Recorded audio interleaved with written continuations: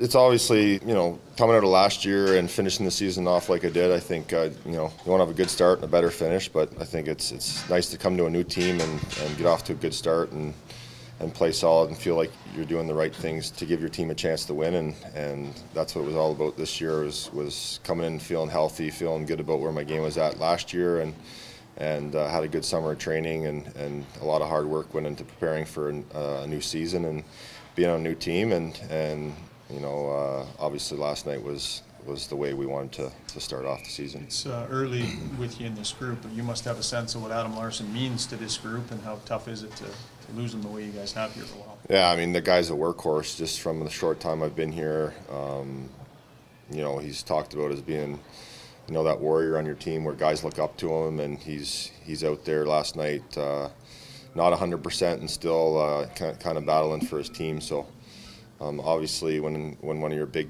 big guns go down, especially on defense, uh, is is kind of a blow to our team. But I'm sure guys will get an opportunity to fill in and and uh, do our best to to make up for his absence. You've had those guys in front of you in different teams, right? Maybe Travis Hamonic's one of those guys. Uh, any others? You know, tell us from a goalie standpoint when you have that type of defensive strong player, what it means to you. Yeah, I mean, anytime you have a player that's willing to do whatever it takes in front of you to, to keep the puck out of the net. I think you, you love those players as a goaltender. I think he's he's one of those guys that uh, that is willing to eat a puck to, to keep it out of your net, and that commitment level um, is contagious as far as I'm concerned. Is you see a guy that's willing to do whatever it takes to win a hockey game and and to uh, you know to keep the puck out of the net. Um, from a defensive standpoint, um, you got to love those players as a goalie and.